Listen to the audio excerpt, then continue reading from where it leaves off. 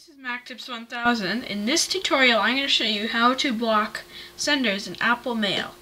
Now, you're probably sick and tired of all this spam coming into you, and you're probably wondering how to block sender. So the first thing you want to go and do is go down to your dock, go to Mail. Then, it should look like this, kind of a layout.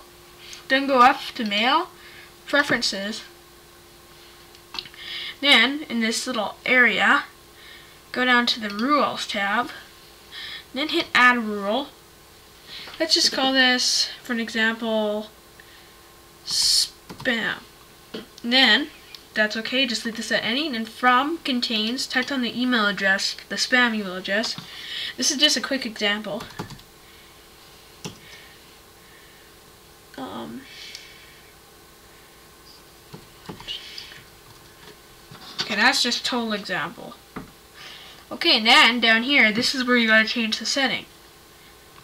Then you gotta go down to delete message. It won't even be in the trash. So whatever the email address that you have will never receive an email from that address ever again. This has been a Mac Tips 1000 tutorial. Thank you for watching.